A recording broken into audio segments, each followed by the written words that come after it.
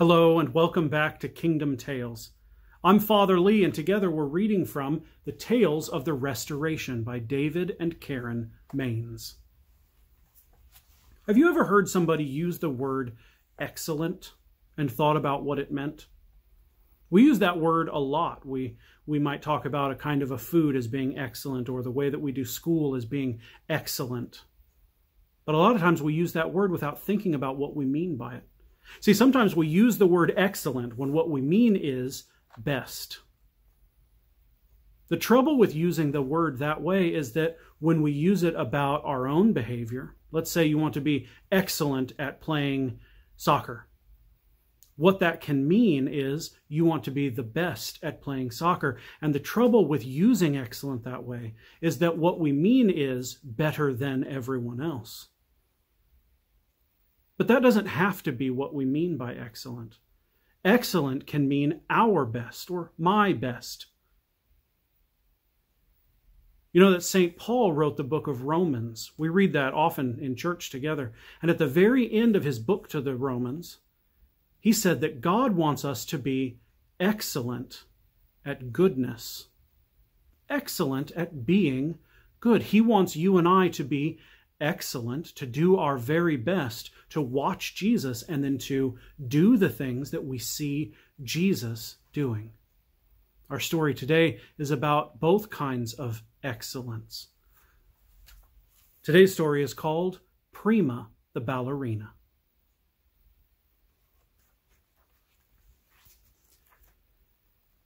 Prima the Ballerina worked so hard at dancing she even danced in her sleep. In the middle of the night, strange poundings would come for her bedroom and would waken her whole family. Thump, thump, thump. She's doing it again, her sleepy mother would say to her father and poke him with her elbow. Somebody stop the crazy girl, moaned her older brother groggily from across the hall. Ugh. The father growled as he crawled out of bed. Putting on his robe, he complained to his wife, you're the one who named her Prima and filled her head with all the nonsense about being the best. Sure enough, when he opened the door to Prima's bedroom, there she would be, dressed in her warm pajamas, poised on her bed, with the springs creaking and squeaking, exercising her classical ballet steps. Plie, tendu, frappe, échappé. All the time she was facing her bedroom mirror, even though she was sound asleep. Thump, thump, thump.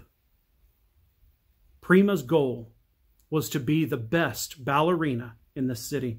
She wanted to soar in higher jetés than any other dancer. She wanted to run round and round in amazing fouettes.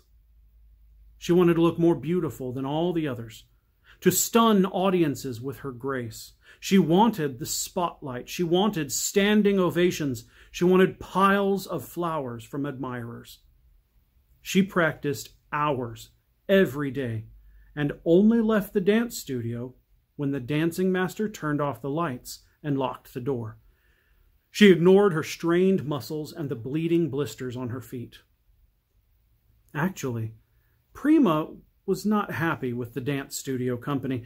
She felt that the others were not as dedicated to the dance as she. None of them worked as hard. None had a dancer's body. Few had the long, slender limbs or the high, arched instep of the classical dancer's foot, or a light, strong leap. She was sure only a few had dancer's rhythm, and she was absolutely certain that none of the others practiced in their sleep. Except perhaps for Carney. Carney a rich man's daughter was the only other natural dancer in the corps. She danced as though she never stopped hearing the music. She danced easily, making difficult steps look as though she never spent dedicated hours in the dancing studio. And she never acted as though she thought the other members of the dance company looked awkward and funny. She never tripped them when the dancing master wasn't looking or nudged them off balance. She never made snide comments about their appearance. That girl was too good to be true, and Prima did not like her one bit.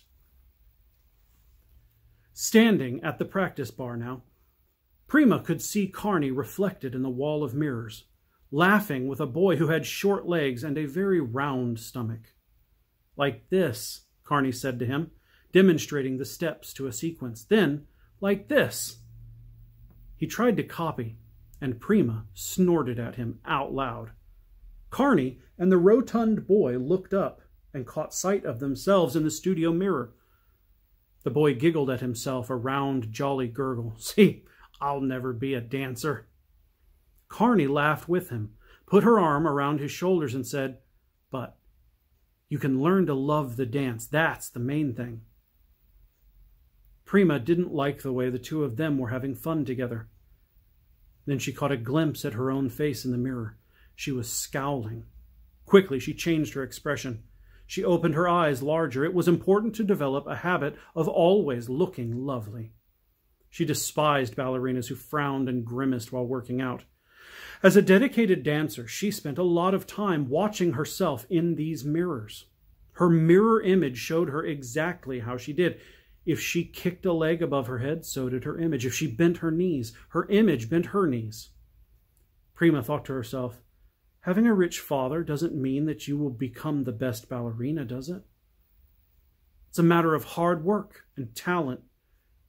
And if you give your time away to others, you won't have enough for yourself, will you? She noticed in the mirror that her smile was smug. With Carney in the studio, however, Prima practiced even harder. Rond de jambe, arabesque, attitude, develope, glissade. She vowed to be prima, a soloist, a principal dancer. No, the principal dancer. She vowed to be prima, to work her body into the fine ballerina's body. Stretch, extend, turn out, turn out. On point, up on your toes, thump, thump, thump. She worked so hard she went through a pair of ballet slippers every week. Entendez, class, entendez. The door to the dancing studio banged open. Listen, class, listen. The dancing master came sweeping through, followed by a ragtag bunch of. Oh, no, thought Prima. More lost children. The dancing master was always dragging these ugly ragamuffins into the studio. Look what we have here, he shouted, as though it was the most delightful surprise in the world. We have new members for our dancing company. As Carney hurried to greet this scruffy crew, Fury began to boil in Prima's soul. Now the dancing master would give these sloppy-footed missteps more time and her less. She never got the attention she deserved. The dancing master continued, Now, little ones, you are here to study the dance. But Dance Studio Company is not like other companies. Here we help one another. Here is no stars. Here we learn to dance for king. Here is best dancing when we hold hands and learn steps together. What? You understand all this? Every dance is part of the celebration for New Day Rising. Standing at the bar, Prima snorted again. She had never seen more unlikely dancers in her life. They had no poise, no presence. They shuffled their feet, their clothes were shoddy, their ungroomed hair fell into their eyes. Shoelaces flopped on the ground. She could see them tripping on slipper ribbons. She could see them bumping into each other in pas de deux and stumbling apart. How would they ever stand on stage and command the attention of the audience? So Prima, you have something to say? The dancing master had heard her snort. His eyes were stern. Before answering, she insolently bent to adjust her leg warmers, and then she stood straight, smoothed her gauzy tulle skirt down around her leotard. Placing her hands on her hips, she forced a smile. Yes, I do have something to say. How can anyone dance for the king when no one ever sees the king? Everyone made such a big deal over the fact that people of the city now live day lives, that the king had lifted the enchantment that once forced people to work and play only at night. But what did she care? She had never seen the king, if there really was a king. The only light that mattered to her was stage light. The dancing master spread his arms to the whole dancing class. It's like wonderful game. King is always with us. We cannot see. He's in disguise, but always he sees us, and we learn to find him. So we dance for the king. In Bright City, believing is seeing. The trim man flipped up his wrists, like so. He bowed low, then executed a few quick steps and turns. The lost children clapped. He leaped into the air and twisted before his feet touched the ground. All oohed and awed, except Prima. She pouted. The master's leap was wonderful, particularly given the fact that he did it without any warm-up time. Any professional would recognize that, but the ballerina hated it when anyone else received attention. The dancing master smiled at his students. It's nothing, nothing. He waved away their approval with sand. You see, here in dancing studios, the older helps the younger, the stronger helps the weak. The principal dancers help new dancers. We all learn to do best we can. We make beautiful dance for King. Under her breath, Prima mocked. It's nothing. It's nothing. Well, no one was going to make her partner with that fat boy and look ugly because of him. And she didn't care a whit about the king. To her, seeing was believing. Prima leaned toward the bar again. In the mirror, she watched Carney line the lost children against the far side of the studio. Quickly, joyfully, the other girl did a series of pirouettes, whirling like a top on her toes and tapping each child on the head as she passed. Like this, and like this, and like this, and like this. You, too, will learn to dance for the king.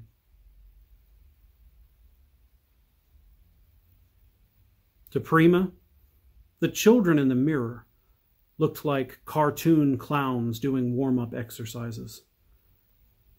They'd make a terrible ballet corps for Swan Lake or the Nutcracker. The only choreography that would work for them was one for a new work that someone would have to create. Plump sausages and sticky hot cross buns. Prima chuckled to herself.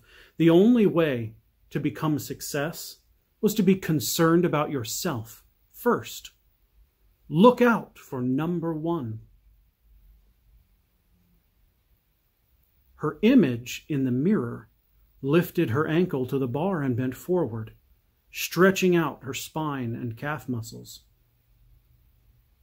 Then Prima the ballerina did the same. She was so pleased at her own clever humor that she didn't even notice this odd shift in the practice sequence.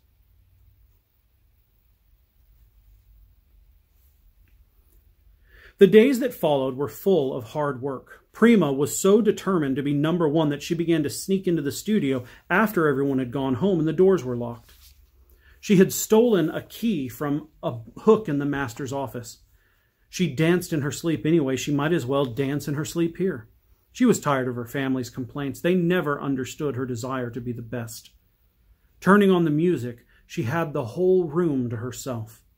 She watched her image flitting gracefully across the mirrors with no one else to spoil her positions or crowd her space or interrupt her concentration as she made dazzling passes. But strangely, as the weeks passed, the harder she worked, the less satisfied she became. Her leg muscles were bunchy. They didn't like this. She didn't like the way that she looked. She felt fat. Her neck wasn't long enough. Maybe she should change the color of her hair. She noticed that Carney, though she spent precious practice hours helping the other children, seemed to grow more graceful, more lithe and carefree in her dancing. There was something joyous in the way she lifted her upper body, something elegant in the way she tossed her head, something breathtaking in the way she held a pose while leaping seconds longer than any leap seemed possible. She had something that could not be imitated by another, though Prima tried sneakily to copy her form. One night, after hours of frustrating private work, Prima's image in the mirror plopped down on the floor, ankles crossed, head in her hands. Prima followed. She just could not get it right. She felt like crying. In fact, she did cry. Suddenly, the door to the studio opened, and Carney stood there, holding her ballet bag in her hand. Prima? Prima, I was working late, but what, why are you crying? Can I help? So this was how her rival did it, the cheat. She practiced overtime. Prima wiped her eyes. I wasn't crying. I just can't get it right.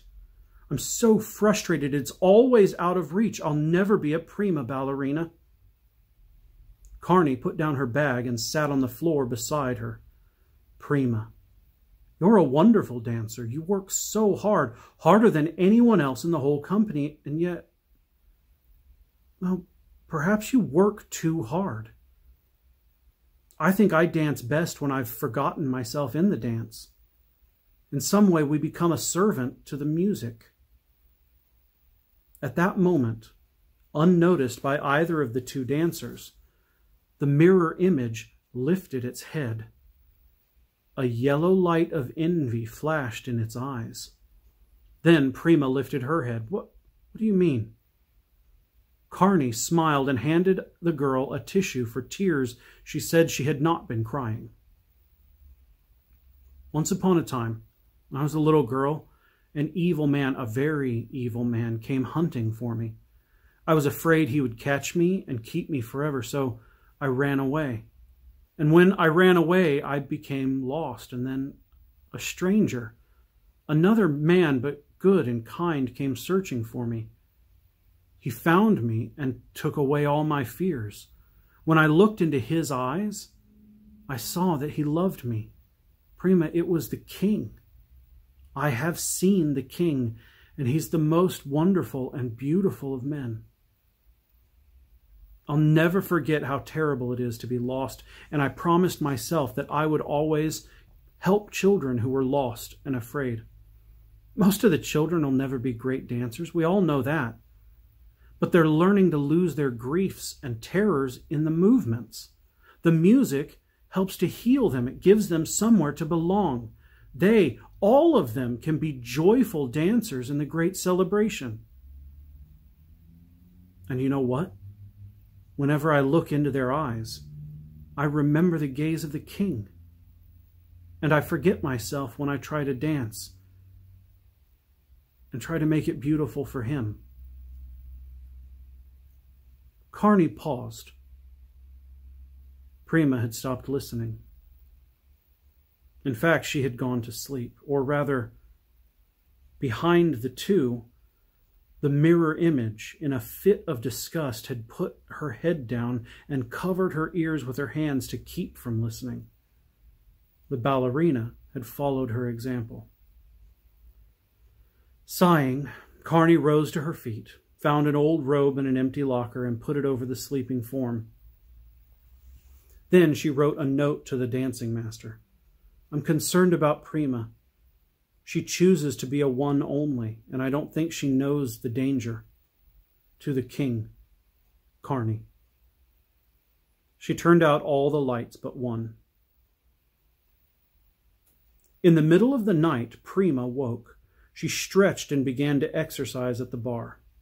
I've seen the king, she mimicked Carney to her mirror image. What a goody two-shoes. Prima, maybe you're working too hard. I know what she's up to. She's pretending that she doesn't want to be prima ballerina to put me off my guard. Well, I'm not stupid. The image in the mirror smiled. Prima smiled back. She turned three quarters to the mirror. Her legs were beautiful and shapely. Her neck was long and willowy. What could have been the matter with her to think herself ugly? Certainly she was just suffering from dancer's fatigue. The image in the mirror performed a series of stretching exercises. Prima did the same. This was nicely executed. The image in the mirror bent deeply in plie. Prima bent deeply in plie, and yes, gracefully done. The mirror image began leaping into the air, higher and higher Prima followed. That was the highest she had ever leaped. Why, of course, if she just followed what the image did, she was brilliant. That was the secret for future success. She must give herself to following the image. The mirror self turned in glorious circles, faster and faster. Prima did the same. One look told her that she had never danced so brilliantly or that her technique had never been so flawless. I will follow you, she thought. Whatever you do, I will do. I will go where you lead me. And not once did Prima think this to be odd. Shortly, Prima quit Dancing Studio Company and joined the Imperialist Ballet Theater, which specialized in gala performances and was a company with many stars, and indeed she became a solo ballerina. When the orchestra played, Prima remembered her mirror image and danced out of the memory she saw in her mind. The spotlights dazzled her sight. When the audiences gave her standing ovations, she curtsied just as she had seen the image in the mirror do, low and grandly like a queen. Yes, she was the queen of the dance. During bows, the flowers of her admirers were piled at her feet, just as she had dreamed. but she had no friends to call her own. And her family never called or came to see her dance. So she slept in a room full of mirrors in order not to be alone. Her dressing room had a wall of mirrors. Her long, sleek limousine's windows were also mirrors, closing away all the glimpses of bright city. She could never be or never wanted to be, far away from her own reflection. In time, even when she wanted to, even when her body needed to rest, she could not stop dancing. Her mirror image demanded the motion, and though she danced beautifully, she never danced joyfully. But Carney, Carney and the found children danced in the streets. They laughed when they bumped into each other or tripped on their shoelaces. And because they had all kinds of bodies fat ones and short ones and skinny ones and roly poly ones the old people who wanted to learn to dance were not afraid to try. And because no one was a principal dancer, but all were part of the troupe, even self conscious middle aged ladies and men who had never learned to dance caught the infectious wonder of the steps and forgot to think about how funny they looked. Much to the delight of the dancing master, dancing studio companies were started all over the city. Here, many people learned how to hold hands and how to help one another in the steps. Here, people learned to love the rhythms of the new celebration. Here, they were taught the dance of new day rising.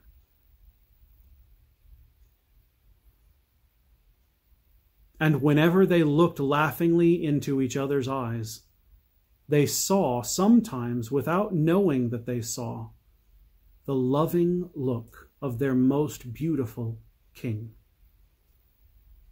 For he is a king, after all, who takes joy when the people of his kingdom learn all the steps.